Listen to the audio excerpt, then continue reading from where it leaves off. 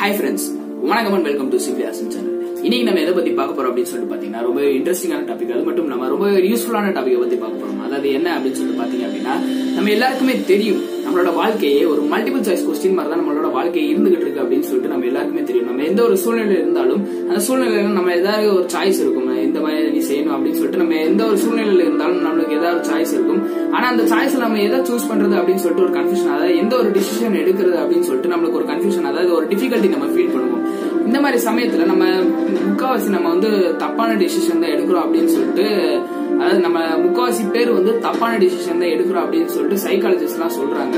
அதுக்கு ஒரு பலவிதமான காரணங்களும் சொல்றாங்க.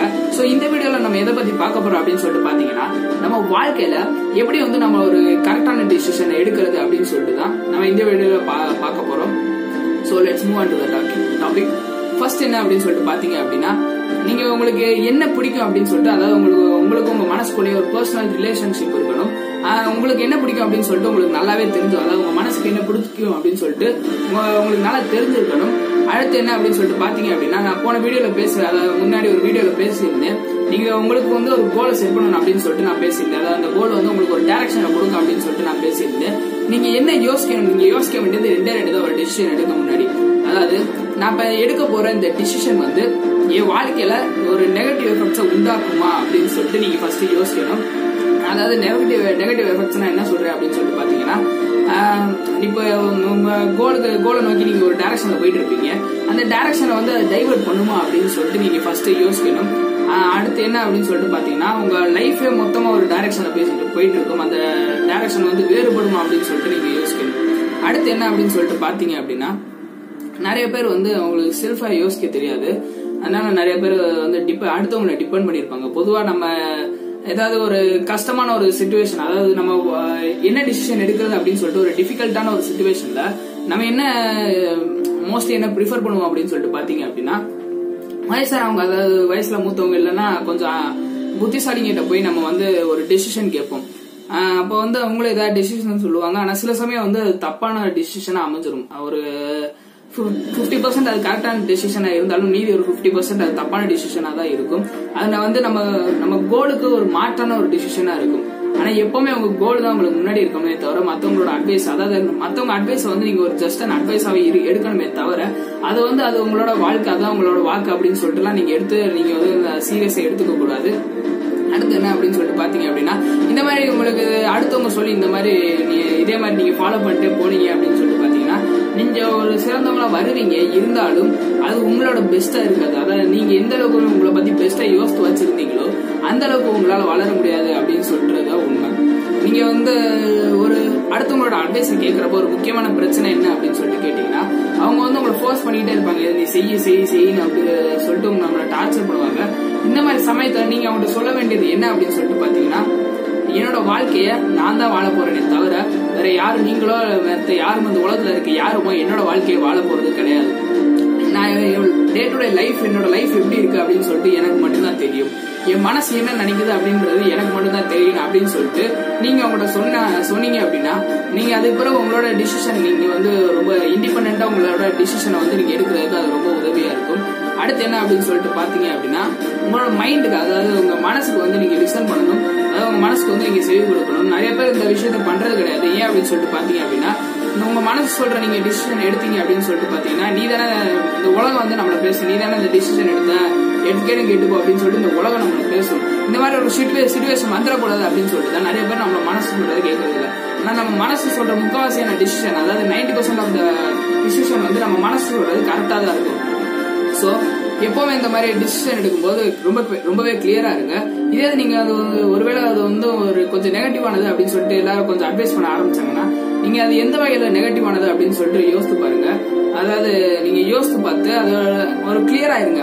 இந்த மாதிரி இந்த சுச்சுவேஷன் நான் சமாளிச்சிருந்தேன்னா என்னால் அதெல்லாம் சமாளிக்க முடியுமா அப்படின்னு சொல்லிட்டு நீங்க கிளியர் பண்ணிட்டீங்கன்னா இது உங்களுக்கு டெசிஷன் மேக்கிங் அதாவது இன்னொரு ஒரு ஸ்டெப்புக்கு நீங்க போக இது ரொம்பவே ஹெல்ப்ஃபுல்லா இருக்கும். அடுத்து ஒரு முக்கியமான கட்ட கட்டத்துல இப்போ நம்ம வந்திருக்கோம். அதாவது நம்ம இப்ப நிறைய பேர் டெசிஷன் ஏன் தப்பாகுது அப்படின்னு சொல்லிட்டு கேட்டீங்க அப்படின்னா நிறைய பேர் வந்து ஒரு கரெக்டான இன்ஸ்டன்ட்ல வந்து அவங்க வந்து டெசிஷன் எடுக்கிறது கிடையாது. நீங்க இப்போ வந்து நீங்க இப்போ நீங்க ஒரு டெசிஷன் எடுக்கிற சுச்சுவேஷன்ல நீங்க வந்து ரொம்ப ஸ்ட்ரெஸ்டா இருக்கீங்க. அதாவது நீங்க வந்து ஒரு பேட் மூட்ல இருக்கீங்க. பேட் மூடுன்னு சொல்றதோட நீங்க பசியாவோ இல்ல ரொம்ப தூக்கமாவோ இல்ல ரொம்ப ஸ்ட்ரெஸ்டாவோ இல்ல ரொம்ப டிப்ரெஸ்டாவோ இருக்கீங்க அப்படின்னு வச்சுக்கோங்க. இந்த மாதிரி நேரத்துல நீங்க எடுக்கிற முக்காவாசியான அதாவது eighty five percent of the decision வந்து நீங்க எடுக்கிற இந்த மாதிரி நேரத்துல நீங்க எடுக்கிற இந்த eighty five percent of the decision வந்து தப்பா தான் இருக்கு அப்படின்னு சொல்லிட்டு சைக்காலஜிஸ்ட் சொல்றாங்க. ஸோ நீங்க டிசிஷன் எடுக்கிறது எப்போ எடுக்கணும் அப்படின்னு சொல்லிட்டு பாத்தீங்க அப்படின்னா நீங்க ஒரு இந்த மாதிரி ஒரு சுச்சுவேஷன் வரப்ப நீங்க அதுக்கு நல்லா யோசித்து அதாவது நீங்க நல்லா டைம் எடுத்துக்கணும். இந்த மாதிரி நீங்க நல்லா டைம் எடுத்து நல்ல ஒரு லெஷர் டைம்ல அதாவது நீங்க வந்து கொஞ்சம் ஃப்ரீயா இருக்க நேரத்துல இந்த மாதிரி அதாவது நீங்க இந்த பொழுதுபோக்கெல்லாம் பண்ணுவீங்க பாத்தீங்களா? அந்த மாதிரி நேரத்துல நீங்க வந்து உங்க டெசிஷன் எடுக்கிறதுக்கு ஒரு கரெக்டான நேரம். அதாவது உங்க டெசிஷனை பத்தி நீங்க யோசிக்கிறதுக்கு அது ரொம்பவே கரெக்டான நேரம். நீங்க இது வந்து ஒரு நெகட்டிவான பாத்துக்கு உங்களை லீட் பண்ணும் அப்படின்னு சொல்லிட்டு நீங்க உங்களுக்கு ஃபீல் ஆயிருச்சு அப்படின்னு சொல்லிட்டு நீங்க பாத்தீங்கன்னா உங்க டெசிஷனை சேஞ்ச் பண்றதுக்கு உங்களுக்கு முழு அதிகாரம் இருக்கு. அதாவது உங்க டெசிஷனை நீங்க தான் மேக் பண்ணணுமே தவிர யாரும் மேக் பண்ணக்கூடாது. இதுக்கு ஒரு முக்கியமான ஒரு சான்று யாரு அப்படின்னு சொல்லிட்டு பாத்தீங்க அப்படின்னா நம்மளோட கேப்டன் அமெரிக்கா அதாவது கேப்டன் அமெரிக்கா சிவில் வார் நம்ம எல்லாரும் பார்த்திருப்போம். அந்த சிவில் வார் படத்துல என்ன அப்படின்னு சொல்லிட்டு பாத்தீங்கன்னா நம்ம கேப்டன் அமெரிக்கா வந்து அவர் சொன்னதுதான் கரெக்ட் அப்படின்னு சொல்லிட்டு அவர் எக்ஸ்டாண்ட் ஆயிருவாரு அதாவது அவர் சொன்ன கருத்து அவர் எடுத்த அந்த டிசிஷன்ல வந்து அவர் நிலைச்சிருப்பாரு இந்த மாதிரி சமயத்துல அவர் இந்த உலகமே எதிர்த்து அவர் போராடா அதாவது இந்த உலகத்துல இருக்க எல்லாருமே அந்த இதுல சைன் பண்ணிடுவாங்க ஆனா அது அந்த உலகத்துல இருக்க நாடுகள்லாம் சைன் பண்ணுவாங்க. ஆனா இவர் மட்டும் அதுல சைன் பண்ண மாட்டாரு. அதுல ஒரு டைலாக் வேற அதுல சொல்லுவாங்க. என்ன அப்படின்னு சொல்லிட்டு பாத்தீங்கன்னா உனக்கு இந்த உலகம் செய்யறது ஒண்ணு தப்புன்னு பட்டுருச்சு. ஆனா அந்த இந்த உலகம் செய்யறது வந்து தப்புன்னு பட்டுருச்சு. ஆனா நீ நீ வந்து ஆனா அவங்க வந்து அது உன்ட்ட ரைட்டு அப்படின்னு சொன்னாலும் நீ வந்து அதை வந்து நீ தப்பு தான் அப்படின்னு சொல்ல தில்லா சொல்லணும் அப்படின்னு சொல்லிட்டு அதுல ஒரு டைலாக் வரும். அந்த டைலாக் எனக்கு ரொம்ப பிடிச்சிருந்துச்சு. அதே மாதிரி தான் நம்ம வாழ்க்கையும் இருக்கணும். நம்ம எல்லாருக்குமே இன்னொரு ஒரு சயின்டிஸ்ட பத்தி தெரியும். கலீலியோ கலீலியோ பத்தி நம்ம எல்லாருக்குமே தெரியும். அவருக்கு தெரியும் இந்த மாதிரி நான் ஏதாவது கண்டுபிடிச்சு சொன்னேன்னா இது வந்து என்ன கொன்றுவாங்க அப்படின்னு சொல்லிட்டு அவருக்கு தெரியும். இருந்தாலும் அவர் வந்து தில்லா வந்து அவரோட க அவர் என்ன கண்டுபிடிச்சாரு அதை சொன்னாங்க சொன்னாரு. இருந்தாலும் அவர் வந்து கொடுமைப்படுத்தி அந்த காலத்துல கொண்டுட்டாங்க இருந்தாலும் அவர் சொன்ன அந்த காலத்துல அவர் சொன்ன அந்த அறிவியல் கருத்துக்கள்ல இன்னைக்கு வரைக்கும் நம்ம வாழ்நிலை நம்ம பின்பற்றிட்டு தானே வரோம். அவர் கண்டுபிடிச்ச எதுவுமே இன்னைக்கு வரைக்கும் வீணா போகல இல்லையா? அவர் கண்டுபிடிச்ச அந்த கருத்தை கொஞ்சம் கொஞ்சமா அவர் ரிசர்ச் பண்ணி தான் இன்னைக்கு வரைக்கும் இந்த அறிவியல் அதாவது இன்னைக்கு நம்ம யூஸ் பண்ற பல பொருட்கள் அவரோட கான்செப்ட்ஸ் இன்னைக்கு வரைக்கும் நம்ம யூஸ் பண்ணிட்டு இருக்கோம் இல்லையா? சோ நம்மளோட அந்த மோட்டை அதை நம்மளோட நம்மளுக்கு என்ன தேவை அதை நம்ம என்ன பிடிக்கும் அப்படின்னு சொல்றத நம்ம கிளியரா இருந்துட்டு இந்த மாதிரி ஒரு டிசிஷன் எடுக்கணும். நம்ம வந்து நம்மளே நம்ம நம்பணும் அப்படின்னு சொல்றாங்க சைக்காலஜிஸ்ட் அதாவது நம்ம ட்ரஸ்ட் யுவர் செல்ஃப் அப்படின்னு சொல்றாங்க. நம்மளுக்கு நம்ம மனசை வந்து நம்ம நம்பணும்.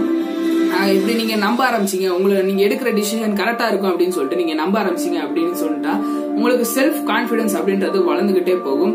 அந்த செல்ஃப் கான்பிடன்ஸ் வளர்ந்தாலே போதும். நீங்க வந்து உங்க வாழ்க்கையில பெரிய ஆளாயிடலாம் நீங்க இந்த மாதிரி நம்ம வாழ்க்கையில எப்பவுமே டெய்லியே நம்ம டெய்லி நம்ம வாழ்க்கையிலயுமே நம்ம வந்து ஏதாவது டிசிஷன் எடுக்கிற மாதிரி கன்ஃபார்மா ஒரு சுச்சுவேஷன் வரும். இந்த மாதிரி ஒரு நேரத்துல நீங்க இந்த மாதிரி டெசிஷன் எடுக்கிற நேரத்துல இந்த மாதிரி ஒரு டிப்ஸை ஃபாலோ பண்ணீங்க அப்படின்னு அப்படின்னு நீங்க இந்த மாதிரி ஃபாலோ பண்ணி நீங்க வாழ்ந்துட்டு வந்தீங்க அப்படின்னு சொல்லிட்டு பாத்தீங்கன்னா நீங்க கட்டாயம் உங்க வாழ்க்கையில பெரிய ஆளாயிடலாம் நீங்க வந்து ஒரு பெஸ்ட் பர்சனாலிட்டி ஆயிடலாம் மேலும் என்ன சொல்ல வராங்க? இந்த சைக்காலஜிஸ்ட்ல என்ன சொல்றாங்க அப்படின்னு சொல்லிட்டு பாத்தீங்கன்னா இந்த மாதிரி இந்த டிப்ஸ் எல்லாம் ஃபாலோ பண்ணிட்டு இந்த இன்னைக்கு ஒரு பெரிய பெரிய பர்சனாலிட்டிஸ் எல்லாம் உருவாக்கி உருவாயிருக்காங்க. இந்த மாதிரி ஒரு டிசிஷன் எடுத்து தான் உருவாயிருக்காங்க இன்னைக்கு நீங்க பாக்குற பல பர்சனாலிட்டிஸா இருக்கணும் அப்துல் கலாமா இருக்கட்டும் இல்லைன்னா பில்கேட்ஸா இருக்கட்டும் பல பேர் வந்து நீங்க வந்து ஒரு தாழ்த்தப்பட்ட ஒரு இடத்துல இருந்து தான் வந்திருக்காங்களே தவிர அவங்க வந்து வந்ததே ஒரு ஆர்ஜினே அவங்க வந்து பெரிய இடத்துல இருந்து வரல.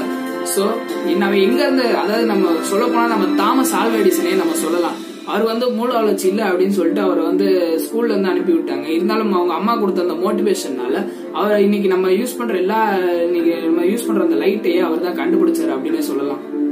ஸோ இந்த மாதிரி ஒரு பல விஷயத்திலையும் இந்த டெசிஷன் மேக்கிங் அப்படின்றது நம்ம எந்த அளவுக்கு கொண்டு போகும் அப்படின்றதுக்கு ஒரு சிறந்த எடுத்துக்காட்டுகள். அதாவது நீங்க எந்த நிலைமையில இருந்தாலும் பரவாயில்ல அது வந்து உங்களை ஒரு மிகப்பெரிய ஒரு நிலைமைக்கு கொண்டு போகணும் அப்படி கொண்டு போகும் அப்படின்னு சொல்றது எங்களோட கருத்து. ஸோ நாங்கள் அடுத்த வீடியோ போஸ்ட் பண்ற வரைக்கும் காத்துருங்க. So until then see you goodbye